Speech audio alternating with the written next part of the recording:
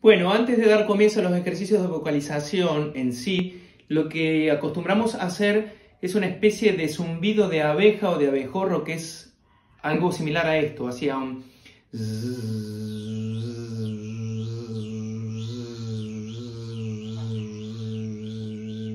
Y este siempre jugamos, siempre lo que digo es, no tengan miedo al ridículo y hagan caras porque eso también ayuda un poco a la desinhibición corporal o a los gestos faciales que estoy proponiendo, ¿no?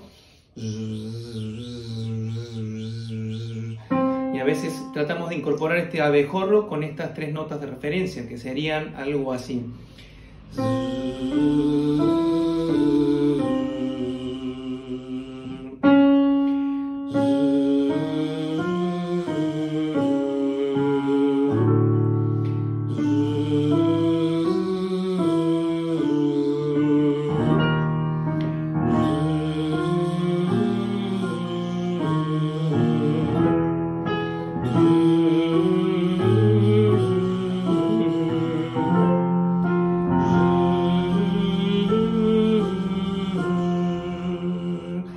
Siempre contrólense que el zumbido ese sea bien el, ruidito del, abejorro y no un porque eso no sería lo mismo.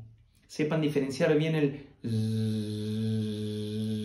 esa vibración me genera una relajación y un despertar en la cuerda vocal, que es lo que hace que la cuerda se ponga en vibración y empiece a tomar empiece a tomar ese calentamiento, justamente que es lo que estamos haciendo, calentamiento para ir al, momento final previo a cantar cualquier canción, sea la que vayamos a, elegir. Luego,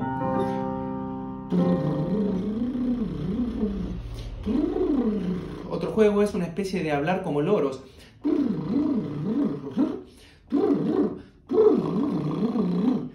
No confundir este ejercicio con el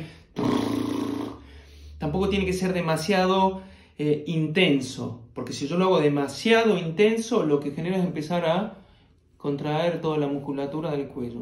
Y yo lo que estoy buscando es que relajemos un poquito los labios, toda esta tensión de acá, que sea más bien un juego algo más sutil.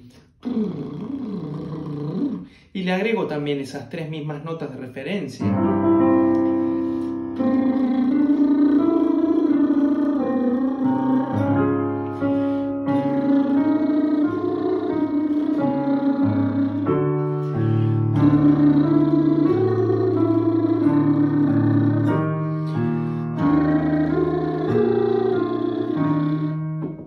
En este ejercicio tengo que tener mucho cuidado y es muy bueno como ejercicio porque si yo lo hago mal o si estoy mandando la cantidad insuficiente de aire, puede que me suceda esto.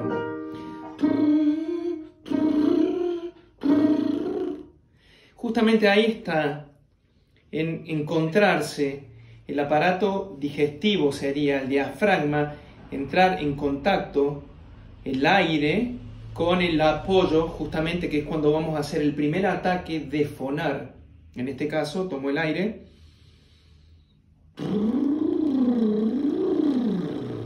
Entonces, por supuesto, hacemos el ejercicio un poco más dinámico, ligero.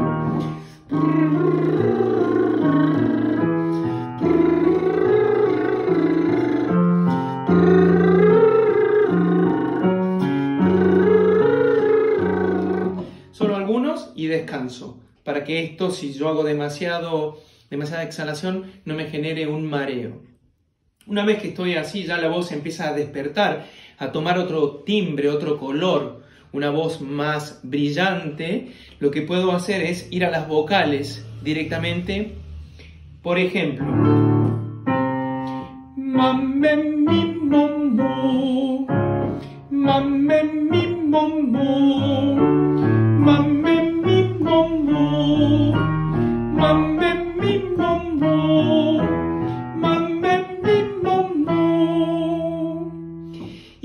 último, puedo jugar a hacer combinaciones en este mismo ejercicio de esta manera.